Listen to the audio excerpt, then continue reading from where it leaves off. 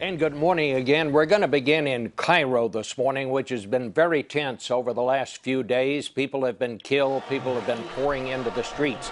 Uh, protests uh, trying to get the Egyptian President Mohamed Morsi uh, to resign. Clarissa, uh, what's going on there today?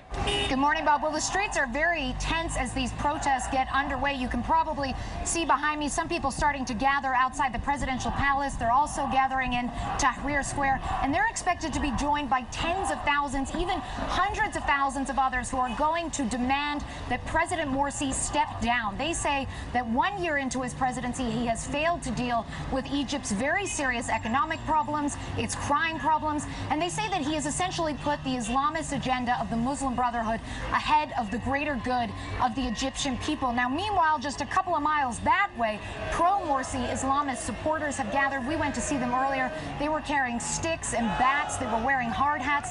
They say that these are just defensive weapons, that they don't want to see any violence today, but they said that they are willing to defend the presidency, that Morsi was democratically elected, and that he has a right to see through his term. So the concern today really is that both sides are going to converge on the presidential palace behind me, that there will be more clashes and more lives lost, possibly.